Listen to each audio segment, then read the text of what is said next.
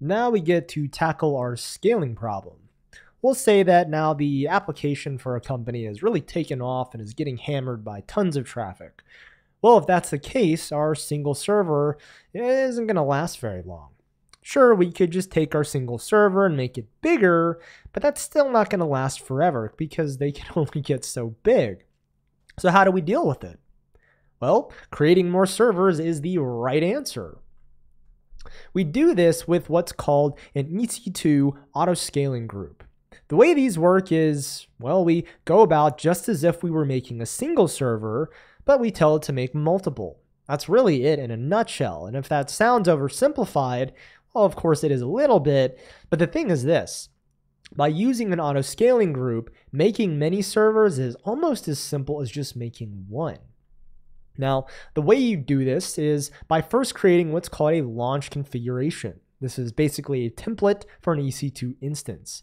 You then create an auto scaling group and you give it the launch configuration. It'll then go and make instances from that template and manage them for us.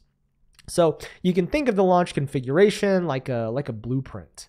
And if that's the case, then auto scaling groups would be like the foreman that builds and manages the instances using the blueprint. So, not too bad conceptually.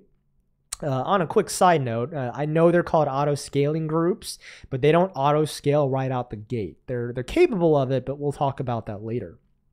Now, that's great and all. By using an auto scaling group, we'll be able to make the whole group of servers uh, so that they can host our application. But how does that even work? Well, from a data persistence standpoint, we don't have to worry. Sure, we may have three or four servers hosting our application, but they'd all be pointing back to that same RDS Aurora database.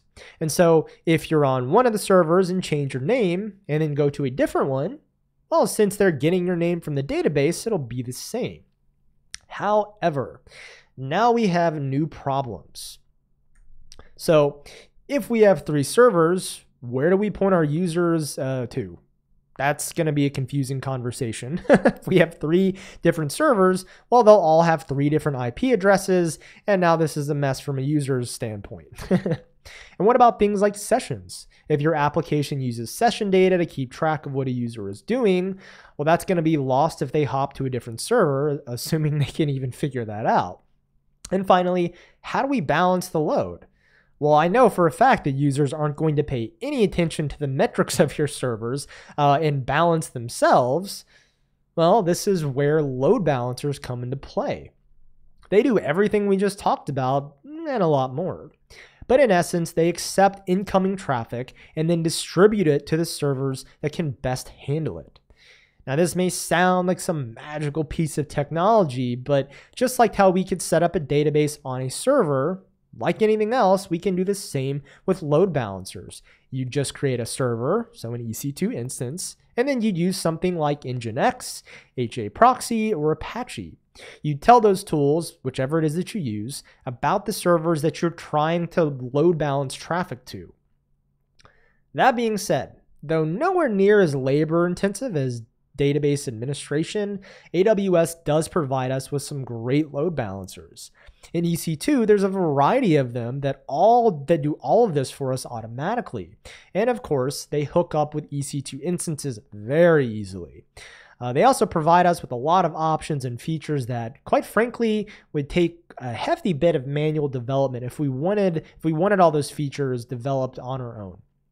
Um, and since they integrate so seamlessly with EC2 instances, you know, we don't even have to worry about telling the AWS load balancers about new instances or about ones that are removed. It'll keep track of that for us. It'll also keep track of session data, perform health checks, return metrics, all sorts of things.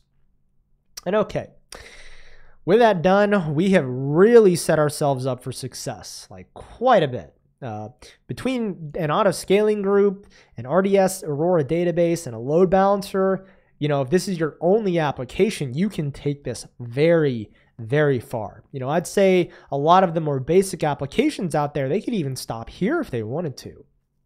But we're going to keep going further. When it comes to updating and patching these machines, deploying new versions of our applications, or deploying new services and apps that aren't this one, we can do better. And we can do it pretty painlessly using Docker and containers.